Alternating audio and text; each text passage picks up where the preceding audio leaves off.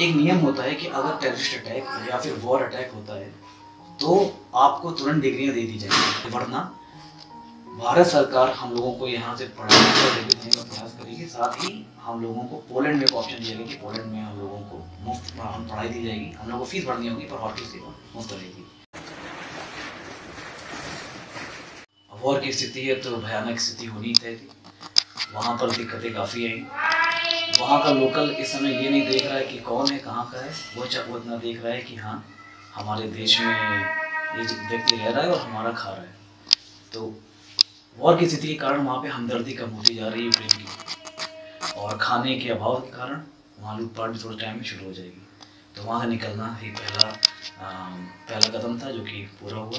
और जो बच्चे वहाँ पे हैं अभी भी बचे हुए हैं वो लगभग लगभग थोड़े समय में वहाँ से निकाले जा चले निकाले जा चुके होंगे। ऐसी परिस्थितियाँ बार बार नहीं आती। माँ बाप से मैं कहूँगा कि वो थोड़ा धैर्य रखे, ताकि आगे जब परिस्थिति सामान्य होंगी और बच्चे वापस आ जाएँगे, सरकार अपना पूरा ज़ोर लगा रही है। बॉर्डर से पास होना एक बड़ी बात होती है, लेकिन एक मामूली सा शक्ल जाँच पड़ताल के बाद पास कर देना ये बड़ी बात नहीं होती जो भारत सरकार ने किया। हम धन्यवाद देते हैं कि हम इतने आराम से बॉर्डर पास कर पाए और उन्होंने हमें मुफ़्त फ्लाइटें दी, जिससे हम यहाँ पे हैं। उनको उनको बहुत बहुत धन्यवाद। एक नियम होता है कि अगर टेररिस्ट अटैक या फिर वॉर अटैक होता है तो आपको तुरंत डिग्रियाँ दे दी जाएँगी। ये हम ने एक नियम पढ़ा था। और इसी कारण अगर ये हम लोग डिग्री मिल जाती है तो बहुत अच्छी बात है। वरना भारत सरकार हम लोगों को यहाँ से पढ़ाने का प्रयास करेगी। साथ ही हम लोगों को पोलैंड में ऑप्शन दिया कि पोलैंड में हम लोगों को मुफ़्त हम पढ़ाई दी जाएगी। हम लोगों को फ़ीस भरनी होगी, पर हॉस्टल सेवा मुफ़्त रहेगी ये दो मार्ग हैं। आगे देखते क्या होता है। अब आपकी स्टडी के लिए क्या कोई वहाँ से एडवाइजरी जारी की गई है? इतना पैसा खर्च हुआ मतलब पेरेंट्स का और सारी चीज़ें रही और आप वहाँ पढ़ रहे थे, आपकी पढ़ाई में डिस्टरबेंस हुआ बीच में। अब क्या आपके लिए आगे यूनिवर्सिटीज ने बताया है?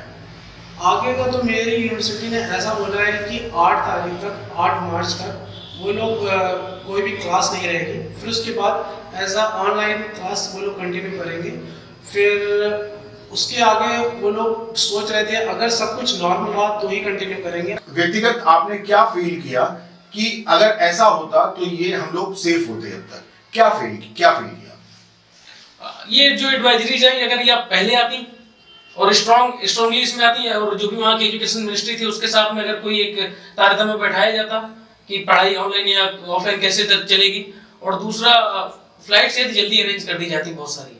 तो हो सकता है उसके पहले ही लोग निकल सकते थे। क्योंकि जैसे आपको बताऊँ, सोलह सत्रह तारीख की भी फ़्लाइट कैंसिल हो गई थी। तो उनके बच्चे भी आगे बढ़ गए। और ज़्यादातर बच्चों की फ़्लाइट थी जो लोग बोल रहे हैं कि क्यों नहीं निकले, क्यों नहीं निकले फ्री के फ्री का इंतज़ार कर रहे थे। सभी बच्चों की फ़्लाइट थी, ग्यारह, बारह मार्च तक की फ़्लाइट थी। लेकिन जब ये स्टार्ट हो गया तो फिर वो फ़्लाइट का कोई मतलब नहीं। यूट्यूब ऐप पर बेल आइकन दबाएँ और आई नेक्स्ट लाइव के कोई भी वीडियो मिस ना करें।